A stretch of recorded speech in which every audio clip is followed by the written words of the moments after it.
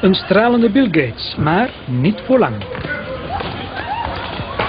Hij krijgt taart in het gezicht bij het binnenkomen van het Concertgebouw.